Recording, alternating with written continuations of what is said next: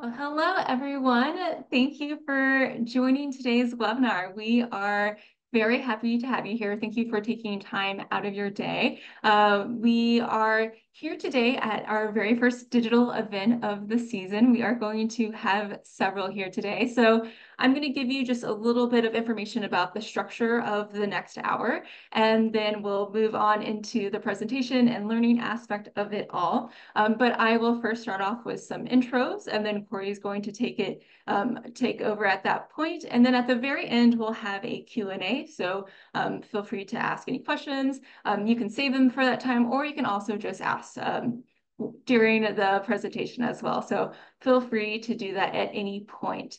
So I am Sam Anderson. I am founder of Studio Ladder. I do technical marketing consulting, create 3D content. Um, my background is at Epic Games and Shop architect, so I have a lot of experience in the 3D world, and so I'm happy to be here today with you all. We also have Corey here, CEO of ArchVision. So we are very lucky to have him here. He is truly an expert at all of these things with many years in this industry. Um, he has been pivotal for a lot of creators moving forward and moving workflows forward. And honestly, he's just um, very enthusiastic about this. And so I'm so happy to, to be here and to, to always be learning from him here. And then we also have Kelsey here. She's our sales operation manager. She's going to be the go-to person for any questions that you have. She's the amazing person that's going to be behind the scenes, making sure everything runs smoothly. Um, she'll be grabbing those questions for us and um, just making sure that we have all the data that we need to best help you with all of your workflows. So that being said, we are going to be dropping in a few polls throughout the presentation. Um, so just keep an eye out for that. That just helps us understand what events in the future we could do for you. So with that being said, this is a time for us to learn. It's going to be very casual. So um, I hope that you are feel free to ask Corey any questions that you've got and we're here to have a good time. So with that, I'll, I'll pass it off to you, Corey. Feel free to add on to uh, any of the introduction that you want to, or um, or just start talking about the, the power of RPC. I'm good. Sam, thank you very much for the introduction and all that. And um, super excited to be here with you all today. Um, and Kelsey, thank you for all your hard work putting this together. Just a little background so everybody knows uh, what we're up to um, what ArchVision's about and so on and so forth. Um, ArchVision's been around since 1991. We've um, started cutting our teeth in visualization work and production back in the early 90s. And uh, ArcVision saw pretty, uh, our founder, Randall Stevens, uh, found a pretty big need for um, addressing what we'll say uh, com complicated 3D content coming into 3D applications to render in photorealistic mode. And these guys back then envisioned this um, technology, which we're about to talk about, which is RPC. And back in the day when they origin originally kind of uh, conceived of this, they they had, you know, very um, kind of, I'll just say a, uh, a simple tool set back then. Uh, no, no high-end digital scanners to be able to capture image, texture, and mesh and things like that. They had cameras and they had a built-in, uh, sorry, a, a, a, turntable that they had built to literally put people on and rotate rotate them around as they snap 360 degree pictures of of each person, and then they took those images and they put them inside of a file format, which is our .rpc file format, and basically um, those RPCs would be, get brought into 3D Studio Max or 3D Viz at the time. And anytime the camera uh, uh, was pointed at one of those objects, it would render basically an image that was inside the RPC file. So the RPC uh, started as a file format and it's evolved over time uh, to have a C++ uh, API or SDK, I should say. And that C++ SDK um, spread out so that we could have uh, uh, software companies like Autodesk or um, uh, the guys from FormZ as an example, or McNeel, uh, to be able to take our SDK and build plugins for those applications. So to this very day, RPC plugin technology still ships with Revit uh, and a couple other apps. Um, but nowadays we we have uh, a, a, web API which is extending RPC technology into a whole nother realm of uh, digital asset, 3D uh, asset uh, collaboration. Uh, we'll call them digital twins and so on and so forth. We'll cover, we'll get into the weeds more on that in, in a couple webinars down the road here probably. Um, but RPC today, um, generally speaking, uh, you have an empty space and you need to fill this with with assets. Um, our technology uh, allows for you to bring these assets into Revit, Rhino, SketchUp, wherever we have a plugin, and literally drag and drop those assets in. The textures, the meshes, and so on, uh, all are compartmentalized inside the RPC file on disk. And when you hit render, those those RPCs will uh, uh, transfer the information to the rendering engine so that you get basically all these materials and textures without worrying about where the location of those textures are or anything like that, directly driven to the render, uh, and you'll you'll get those results similar to this. Um, so just cover, uh, mention a couple of these. So our plugins that we have right now on the, uh, available, and these are all free as part of the ArchVision subscription. Uh, plugin for 3D Studio Max, Revit, Rhino, SketchUp, Unreal Engine, uh, and even AutoCAD. Uh, there's a plugin for FormZ, a uh, handful of others that we're working on uh, at this point in time. Um, just to say that before I get into the next slide and demo, uh, 3D Studio Max is where we've authored all of our content and, and uh, historically. This is shifting uh, as we speak. There are lots of tools that we're building. Uh, again, we'll come into some of those in the next webinar uh, or two. Um, but Max is where we've primarily authored most of our content. And before I wrap up the presentation today, I'll cover one project, which is um, from our friends at uh, Colliers Engineering. Um, we did a great project uh, with them. I'll show a few, few, screen grabs of that and just talk about it more in detail at the end. But uh, they, in this case, they have a 3D Studio Max artist who's using one of our um, exporters for for Max and able to get that data uh, out as an RPC and over into Revit for their designers to work on. I'll show that in a bit. So I'll hop right into a demo, the demo here. Uh, Corey, as you're as you're hopping over to the demo, I do just want to uh, welcome some of the others that joined here uh, in the last couple of minutes. And I did want to mention that the Q&A is a little icon down at the bottom of the screen on the Zoom user interface. So that is the best place for us to see your questions. So as they pop up, feel free to place them in there. So that's all I wanted to say. Corey, off to you in the demo. Awesome. I'll I'll just add that chat chat is dis disabled for all participants. So please, if you have questions, just uh, drop them in the Q and A. Um, all right.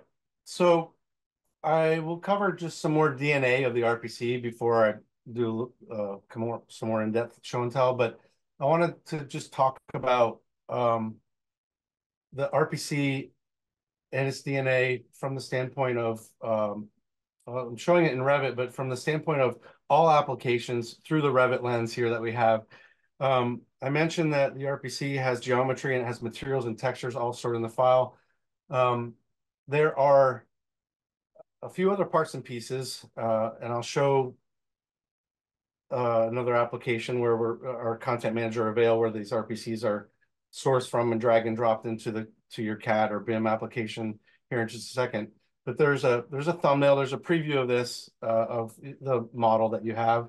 There's also a proxy mesh uh, or proxy object that is stored inside the RPC, uh, and that's a very basically the very first thing that you see when you start to consume an RPC in any of the applications that uh, our plugins uh, are in. So from left to right in this uh, screen here. Uh, I should select this because I'm not 100% sure what y'all see on your screen as far as mirroring goes and stuff. But um, this is the same RPC from left to right. Uh, this uh, RPC here is in what we call billboard uh, format. So this has basically two, uh, three, three different planes that you can uh, see the object from. So you get the scale of the RPC um, and just generally understand the size of it and placement and things like that. Uh, the second op, uh, one here is a simplified mesh version. So basically we take the, uh, uh, the mesh and hide all the faces and you get at least some more three-dimensional representation of the asset. We are working on this technology a little bit more to um, potentially uh, introduce uh, using solids as opposed to mesh. Um, but this is um, this is this has been a pretty big introduction in the last few months for us. And then the next one is a custom mesh. Uh, it looks very similar to the the simplified mesh because uh, we're using pretty much the same data, but I uh, took this model and I brought it into uh, Blender um, and decimated the, the mesh and I exported out a GLB file. And then I attached that GLB file to the custom mesh operation. And that's, um, that, that it's a little less polygonally intense uh, for the Revit viewport. And then, then there's a bounding box representation. That's the simplest form that we have. Why am I bringing up proxy mesh? Well, I bring up proxy mesh uh, predominantly because I feel like it's part of uh, RPC's superpowers here, which is that um, first off, we don't overburden the CAD package with a bunch of faces and triangles and mesh and stuff like that. Um, you know, one person like this uh, in, in 3D form might be, um, you know, anywhere between could be, you know, 9,000 triangles to uh, 900,000, depending on how detailed you have the mesh. Um, so we we take that and we don't want to put those 900,000 face triangles inside of Revit. It'll slow down Revit, obviously. Um, so these proxies become what I call um, an, an a, I say a proxy for a future transaction. So the proxy object is there. It's low overhead in the Revit project or SketchUp or Rhino or wherever you're using the RPC. And at render time is when the complexity of the model behind inside the RPC is is delivered to the to the rendering engine and let the rendering engine chew on all the triangles, all the um, the the the detail inside the materials and so on and so forth. Okay, so that proxy mesh um, ultimately just saves a bunch of bandwidth in, in these applications. So we'll we'll move uh, further down the line uh, in our in our uh, future webinars, we'll talk about the importance of uh, and different use cases, if you will, of each one of these uh, types of um, proxy objects. Uh, while I'm here, I just want to kind of start out and point out that um, these objects, RPCs, will render with Enscape. They'll render with V-Ray for Revit. They'll also render with Revit Render. So um, as this fires up, uh, I'll say we try to keep the RPC application agnostic and render agnostic. So we uh, we we have some pitfalls here and there, but we we do try really hard to make sure that basically any rendering engine can consume the RPC data. All right. Um, so these are all full in the round uh, assets. You can manipulate, scroll around, all that good stuff. They're all uh, they're all there. There's some other trees in the background over there. Um, but uh, so Enscape renders those assets like that, and I will fire up V-Ray here, uh, and I'll let it I'll let it sit there so I can show you all the materials. So I'll just move on to the materials here once V-Ray fires up. And we'll talk about materials. Well, uh, I'm going to actually turn on realistic mode in this view. Um, I'm uh, just kind of caveat here. The Revit viewport is not a ray trace viewport. It's not necessarily going to come out and render every single material 100% accurately. So uh, you'll see glass, I believe, will show up uh, maybe white in this case or might be some transparency. We'll, see what the results we get in this car. It's actually came through pretty well. Um, it can be very finicky, uh, but this is the RPC directly in the Revit viewport. Not sure how many folks would really be using this viewport these days to to do any rendering, but but just just goes to show how um, detailed we are we are with this agnostic approach to the content. We serve even the Revit viewport up the material information, the geometry, and so on and so forth. This is a pretty high detailed asset. There's, I think, over 750,000 triangles in this model altogether, brake calipers and all that stuff.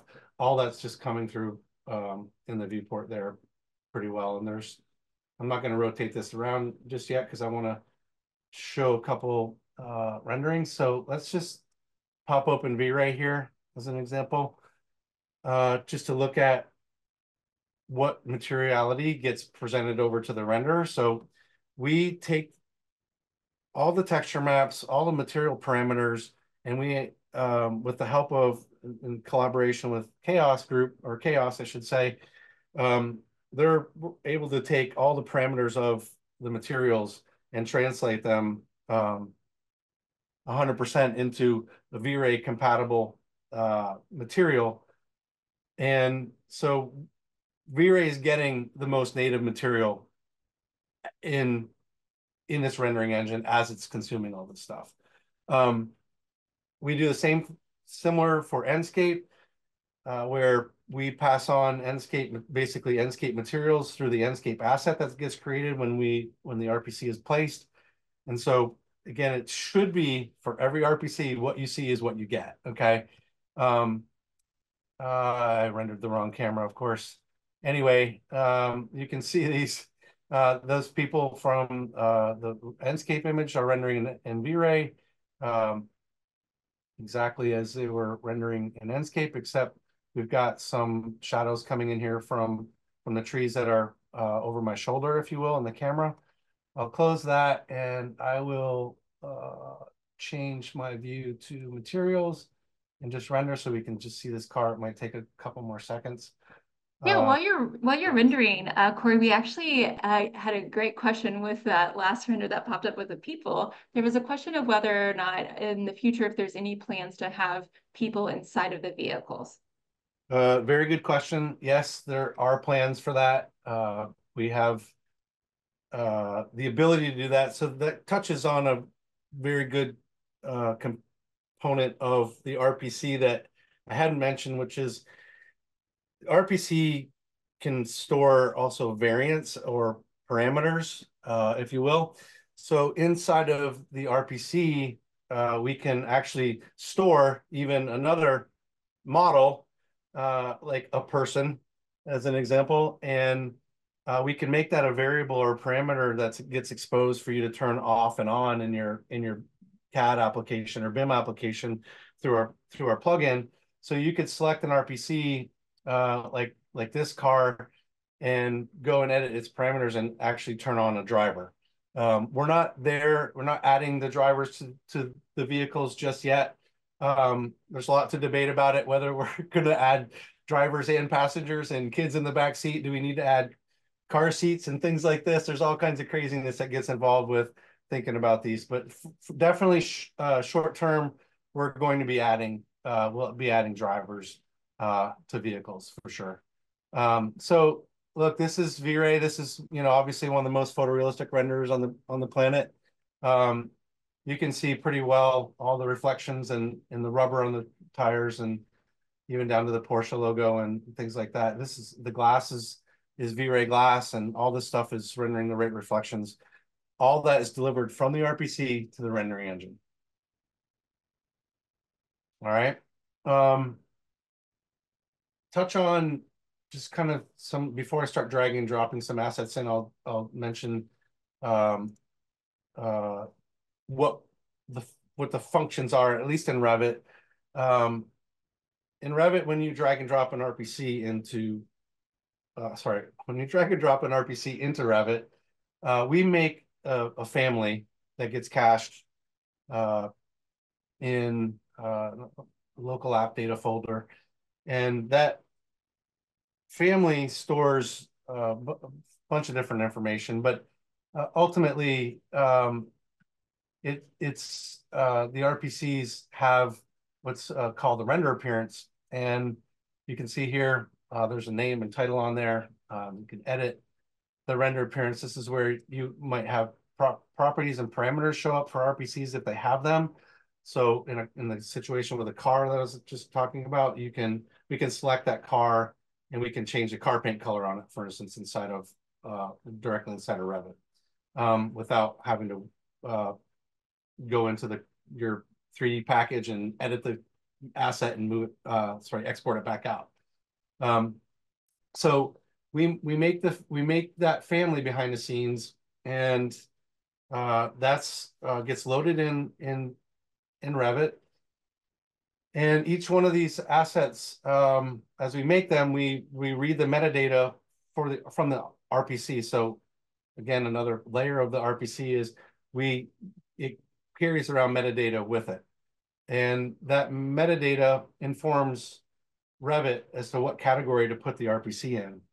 Um, so this boy here, you can see up here, he's listed in the entourage category. Um, this piece of furniture here is listed in the furniture category. And then this billboard tree here is listed under planting. Those are the three main categories that we put uh, the RPCs in. There are others, there are some other hoops that we can jump through to put um, RPCs in different categories. Uh, we just stick to these at this point in time. Uh, we will be handling some other, some of these other categories. Um, hopefully this summer we'll start to see some things around Revit 2025 that um, we'll be able to drive and push these pieces of content into other categories. So that's um, that is categories.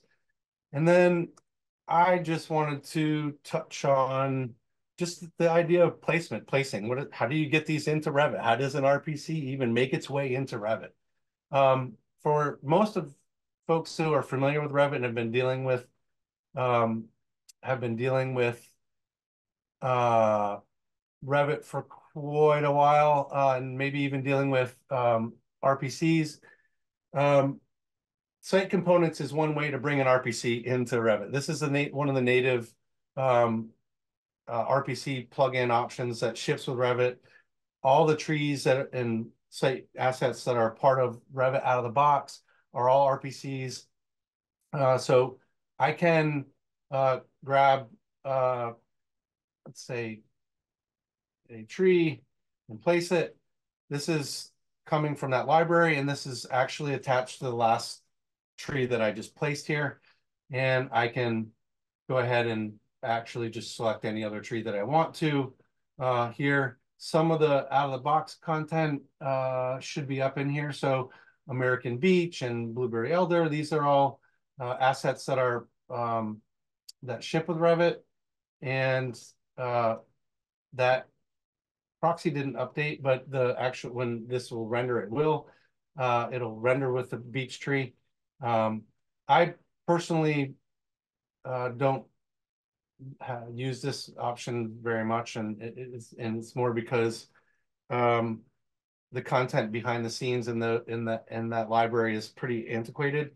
Um, we're working with Harlan to see what we can do about switching some of that content out. We did some in Revit 2024 and we'll see what we can do moving forward. But um, most of our content comes through Avail. Um, I will uh, just zoom out here. Avail is our content manager. We uh, designed and made by the guys from Avail, uh, our sister company. Some of you uh, on the list were customers uh, using Avail already. Uh, here's a few channels that we have. So we have a pretty pretty extensive collection that is just about to explode. We're about to just push a ton of content here over the next few months over the summer. You'll, you're going to start seeing a ton of content coming. Um, but uh, I'll just go ahead and grab, uh, let's say, uh, let's say, say this log work channel, for instance. Um, this is a channel of content. Uh, and I'll just grab uh, an asset and I'll slide this over and drag and drop this tree from Avail directly into Revit. And this is the same tree that we were just looking at before. Uh, but that's this basically the simplest way to get the content uh, from Avail, drag and drop 100% uh, into the application. Okay. Um, I want to just kind of take a moment to just depart over to, let's say, SketchUp as an example, just to basically show um, the same idea, the same concept and connect some dots here. The RPCs, uh, we have a bounding box here of, of our boy. We've got the chair RPC here, and then we've got uh, that palm tree. Uh, again, uh, I can uh, delete that tree, grab, come from Avail and just drag and drop uh, that asset directly here in SketchUp. And you can see down here on the bottom, there's this uh, process going on called our, RPC assemble. Um, that assembly process is preparing the data and caching it uh, behind the scenes so, so that um, when I come here and render with Enscape, Enscape's going to have the assets that it needs to have, the textures and all that stuff to be able to, to render that tree properly. Okay, so this tree, uh, that boy, and that chair all render 100% the same way inside of SketchUp and Enscape as we were just showing inside of inside of Revit. Um, and that drag and drop process is exactly the same, right? Um, uh, and then just to kind of jump over to something even maybe more off the rails than most people are used to seeing these days. Um, I've, I have Unreal Engine open here. And again, I can take that same tree, drag and drop that through our RPC plugin that's uh, part of Unreal Engine. And that tree gets placed inside the uh, Unreal Content Browser and we can place that asset directly in Unreal Engine. Again, the same asset, the same textures, the same scale, all that stuff, all contained from the RPC directly um, uh, delivered to to to Unreal Engine. Um, Sam, any other questions that I could hit on here? Yeah, this is actually really great timing. So yeah, we just got a question that asks, do you ever plan to have a channel that will have various materials that can be used to assign to objects for rendering? Uh, that's a very, very good question. Uh, short answer is yes, we do. Uh, we don't have a timeline on it yet, but um, I'll just say, uh, as you can imagine, uh, I've talked about ma the materials in, in, in the RPC. Um, and as we make uh, many thousands of objects. Um, there are many, many materials that get created um, as part of that process. And those materials, we're um, developing a process right now to be able to democratize the materials and to be able to even, um, you know, as you're building the RPCs, uh, allow you to build up um, a material library of your own as you're building your own material, your RPC library up at the same time. So absolutely, um, the material uh, material will be uh, democratized, if you will, as part of the uh, as part of our asset process, if you will. Absolutely coming. Yeah, I mean that's that's huge. I feel like all of this just you know have seen you be able to easily place these in each of these platforms is uh, just democratizing that workflow in general. Like I'm sure we all do a lot of work where we're working with people in different programs. There's different times when you use SketchUp versus Unreal Engine, um, and it can always be such a pain to to switch those through each of them and then be frustrated of of what they look like and if you can get that asset into the other one. So this is huge. I'm um, so happy that we get to get to share this with others. There's no other questions right now. Did you have some other stuff that you wanted to to showcase? Yeah, I'll I'll talk about uh, another kind of future roadmap element here with regards to the RPCs. Um, uh, I'll actually uh, just zoom back out to the to Avail for just a second. Um, this this channel is not in the most public of states at the moment. We're literally literally in the middle of updating this channel.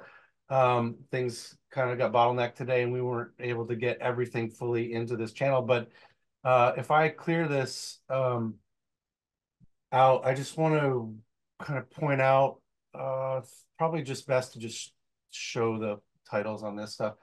So uh, RPC as of today only is storing one, I'll call it one LOD, one uh, level of detail uh, of a number of triangles and faces and stuff like that in and, and actually texture sizes and all that inside of the RPC.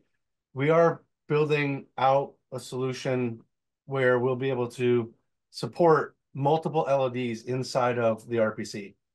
So uh, what we have kind of cut our teeth on right now and uh, with our partnership with um, with LabWork is uh, first off, just starting with two LODs. And right now we've done this brute force. And in this library, there'll be two forms of content. Uh, you'll have, uh, I should say, two LD, two LODs. There'll be an LOD four, which is basically real-time ready. And then we'll have LOD full or zero, which is um, ray tracer ready, if you will. Um, or or nanite ready as an example if you're if you're a, a, unreal engine user these are assets that'll be full polygonally uh, correct and uh, accurate and not not necessarily you know super optimized for uh, real-time use um, so that lod uh, side of the equation is uh, it's pretty energizing right now because we're we're really uh, at the cusp of you know just building more and more into the rpc for it to be that much more um, kind of robust and powerful. Um, so the LOD support and multi-LOD support will be coming um, uh, down the road here for sure. All right, so I did did want to mention that. Corey, what about uh, animated RPCs? So that's uh, we've got a question from Jay that says, "Do you still have animated RPCs?" Very good question. So um, uh, officially, we're in reboot mode for animated RPCs. Um, the the complexities there are um, pretty pretty deep and wide. Um, we have been already working on this. Um, you know, one of the primary complexities is where is the animated asset going to end up in? And can the animation, uh, let's call it functionality parameters, whatever you want, be consumed by whatever application it's going to be used in. So in a case where you say Revit and uh, Enscape, as an example, is it possible for us to get uh, one of these trees, uh, quote unquote, in an animated state or a person or a car in an animated state so that um, inside the RPC, it gets uh, consumed by Enscape and Revit and Enscape can handle the animation. Uh, as of today, absolutely not. It's not even, it's not possible. Okay. But if we're talking about Unreal Engine and things like that, when we could uh, possibly store in the information, uh, we can deliver the animation data through, uh, if not through um, the RPC directly, we can deliver it in conjunction with the RPC through our data, Datasmith um, side of the world that we have, which we have a direct beeline, if you will, we can write out Datasmith files. So we can combine both the, the best of both worlds, basically the RPC and Datasmith and marry those two things together. So um, definitely working on the parts and pieces of animation. There's a lot to chew on and digest and for us to kind of build out. Um, and in all honesty, we literally just hooked up um, our legacy animation functionality again for uh, for Three Studio Max. So we had a customer, um, RK&K, who's who does a lot of infrastructure projects and a lot of animations, and they rely heavily on our animated RPCs flowing up and down highways and clover clover intersections for the, these tractor trailers and cars to go around so that customers and clients can see uh, what these traffic patterns are. They use our RPCs to do that. Um, we had some issues with uh, transforms not being able to um, operate and function in, in, in V-Ray properly. So we had to go back and make some bug fixes there. But during that lesson, we learned a little bit more even about um, you know, what we have to think about as we move forward with the topic of animation. Any other questions there, Sam? Yeah, so not any other questions now. We do have a poll that just went live. So if y'all could let us know what design application you use, that will really help us um, understand, you know, in the future as we do more digital events, which ones that we can really dive into more and uh, showcase more information there. I know that you had mentioned that for future digital events that we would dive in a little bit more to, towards creating um, or how one could customize some of the RPCs. So I, I do want to note that we will be having a digital event July 10th on that. So um, some of the questions of like how how can I curate this or create parameters for it? We'll, we'll showcase some of that there. But um, Corey, yeah, I'll let you I'll let you take it back here and let you know if any other questions pop up. Super. Um, so up until this point in the conversation, I've talked about basically what I'll say is entourage, right? The cars, people, trees, furniture, things like that. Um, I've had the pleasure of working with um, uh, Todd and Sarah over at uh, Colliers Engineering over the last uh, couple months off and on.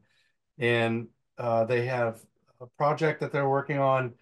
And um, Todd, as a visual specialist, uh, has uh, basically a uh, digital uh, set that he has for um, a large area of, of city in the U.S. where uh, he's built that model over time and he's put a lot of time and energy into it. There's a, a lot into it. He's um, he's got scan data, he's got model data, he's got all kinds of data resting and living in this three Studio Max environment. Um, and he's got we'll probably I think we're going to get a webinar with Todd in the future. I hope because uh, we want to talk about some of the workflows that he uses uh, to to prepare his assets for uh, use in Three Studio Max because he does a lot of a lot of uh, rendering with Max, but he also gets uh, he does a lot of work in Unity as well. Um, so one of the questions that they had was, hey, can we get this? Can we get a site model? Um, uh, of this this max model? Can we get a portion of this max model into Revit so that we can use it as a base for us to model on top of, if you will, or get our Revit project lined up with so that we can uh, have context around uh, the building that we're working on and uh, have it render with Enscape. So those are the basic requirements. Um, we uh, this is a this is one of the images that came out of this. Uh, the facade here that uh, sits in kind of the middle here is, and the people and the and the railings and the wall here, uh, the trees in the foreground. These are all assets that were part of the Revit model. Um, and these are Enscape assets uh, in uh, on that plaza there. Uh, maybe some RPCs. I'm not 100% sure but definitely uh, the building that's here and that you can see uh, this part in the background and uh, this edge of the building over here, this is actually an RPC. And this is a building uh, that was exported out of 3 Studio Max as an RPC and uh, then just basically drag and drop in place in the Revit.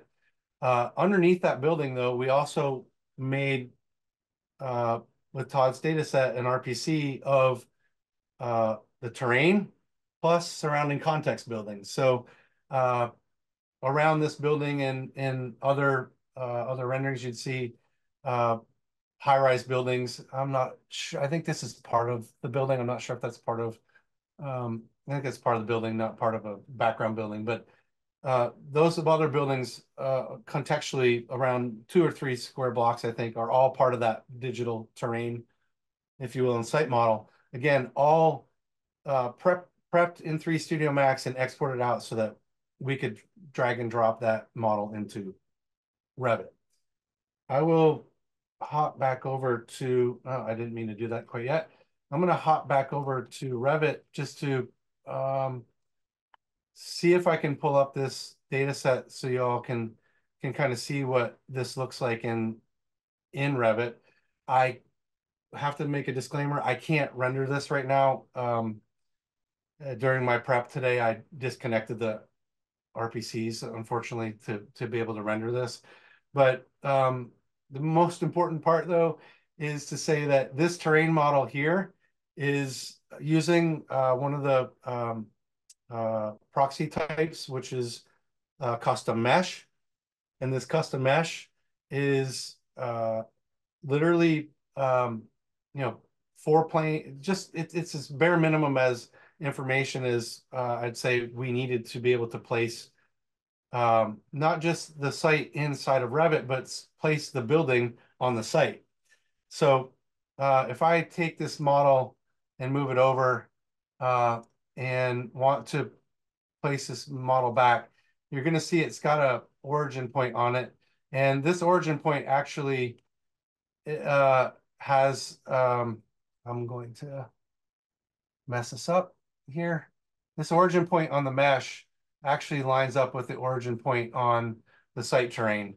Uh, we select, before we write out the RPC from 3 Studio Max, we select the origin of the mesh that's getting exported out, and we make sure that the mesh for the building and the mesh of the terrain object have the same origin point so that we can make sure that these objects overlap uh, and line up 100% the way they're supposed to inside of Revit. Um, I'll touch on the building. The building also has a custom mesh.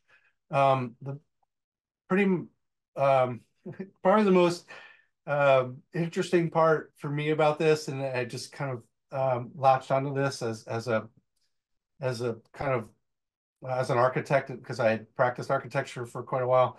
Um, this building model has some cutout in it that we had to basically take the model inside of 3 Studio Max and remove part of the mesh or part of the model so that the building addition could be added to uh, the RPC and that the RPC and the and the Revit model wouldn't actually collide and cause any visual um, uh, discrepancies, if you will. So you can see there's uh, a brick wall here and a little uh, flanking brick wall over here. But in between those two brick walls is we cut that, um, Todd cut that mesh out, as well as you can see there's a kind of a, a section up here, a larger rectilinear section up there. That's cut out, okay? And so back to, you know, the slide and look at that image, um, that flanking wall uh, is, is here and that uh, larger um, rectilinear wall on the bottom that was cut out is, is up here and that longer, skinnier rectangle is, is, is up in this area here. So the floors for this space go back into the, into the RPC basically. And so the camera could be set up uh, literally inside the RPC and coming back out, looking out back out the, the windows of this new space that they're adding onto the building. So that was that was pretty interesting. I I kind of coined it as we were doing digital demo, right? We had an existing model, existing building, and we were demolishing it and demolishing some triangles and then making the RPC and putting it back into, into Revit. So that project was, uh, was uh, it's still ongoing, but it, it, it's, it's something that, um, you know, we're breaking out of the just the entourage, right? Um, we're breaking out of just the trees, cars, and people into uh, you know being able to not just write out from 3 Studio Max, but literally be able to take a Revit project, uh, Revit building, and export that out as an RPC and let a SketchUp modeler um, or Rhino artist or whatever take that model with all its materiality that's been put in your Revit project and start to just place that model into their their you know let's say digital terrain that they've got set up in Rhino and and literally hit render with Enscape or or V-Ray or any of those uh, rendering engines over there, including Rhino Render, and the RPC will render exactly as you left it from from within inside of within inside of Revit when you wrote it out. So um, we're really excited about the future. Uh, there's is um, you know a lot of stuff coming down the road, um, and uh, yeah, this is I think you're seeing just kind of the tip of the iceberg as far as where where um, the content is going, where the creation is going. Um, and like Sam said, the next one couple of next webinars, you'll start to see how you can start to create your own content, manage your own content, and and start using more and more RPCs in your company.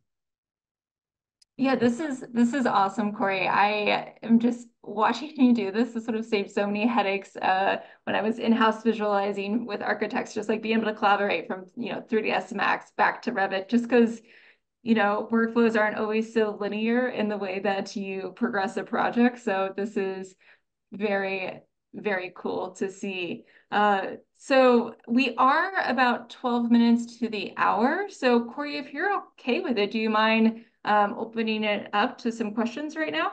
That's totally fine. Yep. Okay. Okay. So feel free to add any of the questions inside of the Q&A box. Uh, we can also try something where uh, just to see if you could also raise the hand um, and we could let you on. If that doesn't work, we'll go back to the Q&A, but just letting you know that that's available as well. If there are, you know, if you have any questions of like, how do I learn more? I want to get more information. Then, uh, Corey, if you could put that slide back on the screen, it'd be great to um, showcase that. So you can email the sales at archvision.com and, uh, you know, the team will get back to you as soon as they can with more information there. Um, you know, as we've kind of like gone through this hour, I want Corey, it was fun hearing about some of the history of RPC. Can you share once again, like what RPC stands for and like maybe even like kind of where you got um, like the evolution of it and, and where that is today, just kind of heading out of this, the power of RPC? Absolutely. So RPC originally stood for rich photorealistic content. And again, right at the top of the call, just talking about, you know, using photographs as a basis for um, getting very complicated objects renderable in um, in Max at the time or Viz uh, without without having to model it. Right, that's the big thing. Like we use these photographs. So rich photorealistic content was the original kind of acronym. Um, now we haven't like officially made this change, but my my take on this now is uh, rich uh, RPC is responsive platform agnostic content. And that um, I think really speaks to what we're up to these days uh, with with the with the file format and and so on. And I think um, you know again in the future webinars, y'all will be able to see you know how we're able to take the file and use RPC as a center point, if you will, or origin, and be able to spin off uh, other uh, variants or twins from that to be used in different use cases. Um, so the responsiveness right now uh, is maybe limited through our plugins uh, in Revit, Rhino, SketchUp, and so on, uh, and Unreal Engine. Um, but the content itself uh, and the meshes and textures and things like that, even down to the materials, can uh, essentially be democratized in, in such a level that you can be able to consume them individually in different parts and pieces. So you could even imagine down the road uh, texture maps being another library, not just the materials, but even down to the texture maps, where those libraries could be living and breathing as part of this the platform that you have, right? And the content that needs to be responsive um, is much broader and will be much broader than just the, the CAD and BIM and DCC applications. Awesome. Yeah, thank you for expanding on that. I just I know that we started with that, and I think that I kind of love always learning about the history of, of companies and evolution. So I just wanted to bring that back to uh, the center of attention here as we close out. But we do have a question. Uh, the question is, is there a plan to add some online contents on the YouTube channel? Would be great to see some of the highlights of these new developments. So uh, I do want to note that we are recording this session. We will be able to, you know, use it for the, the different elements in the future. And with each of the digital events, we're going to be focusing on different products. So for instance, I will be doing an Epic Games one in the future. There will be Vantage as well. So a lot of the different platforms we'll dive into further. Uh, Corey, do you want to expand on that at all? I know we I, we do have a help center um, yeah, that is well, also I'll, helpful. I'll, I'll say um, you know, admittingly, we've been pretty um, under the radar for quite some time. uh, since I've been on board for the last four and a half years. Uh, we haven't pushed a, too much information out. That's changing. This is the this is the a pivotal moment for us to just start this webinar and start pushing out a lot more information a lot faster. Um, we've had our heads down on the engineering side of all of this, really like blinders on and going. So the educational content, uh, there's a lot for us to produce. Um, and we will start streaming this stuff out even in bite-sized chunks. I like to record little five minute videos these days and start to put these up on YouTube, very specific topics and, and use cases. Um, and we're going to try to start taking advantage of, of, you know, those little blasts of information and start getting more out there for sure. Yeah, but that's it's great to hear you even ask that question because it's good to know like where the is there demand out there for that? Are people you know seeking that out? So thank you for bringing that up. And then we also have another question from jay we have been a client with RPC since the first versions, and it is great to see this grow. I was always worried that my favorite content would disappear. Thanks so for my sorry, thanks so much uh, for an awesome product. So not a question, but just a compliment. So uh, Corey, I hope that puts a smile on your face. Jay, thank you for sharing the positive words. Like it's, uh, uh, I know that it will go a very long way with the team. So thank you for for sharing that information. Absolutely. Thank you, Jay. Awesome. So let's see if there's not any other questions. Um, I just want to, you know, thank everyone for taking the time to be here. Once again, if you have any additional questions at all, uh, feel free to email the sales at archvision.com. Um, also, feel free to visit the website www.archvision.com. Uh, that will also have some information for you as well. And we will have these digital events happening pretty fre frequently over the next season. So we want to thank you for taking your time out of your day to spend with us. I hope that you learned something new, um, or if not, at least left inspired about some of the uh, technology and possibilities in the future. One of the ones that I know everyone is very excited about is uh, talking about Fovea, one of ArchVision's new tools, which is great for publishing assets and being able to um, configure assets as well. So um, kind of like the, the use case that Corey showed here, kind of looking at it at a bigger picture and understanding cloud-based tools and how we can continue to improve artist workflows. So with that, Corey, is there any last thing you want to say here? No, I'll just reiterate, thank you everyone for your time today. It's, and I know your times are uh, valuable and precious. Um, uh, and thank you so much for stopping by. Let us know if you have any questions for sure. Awesome. Thank cool. you.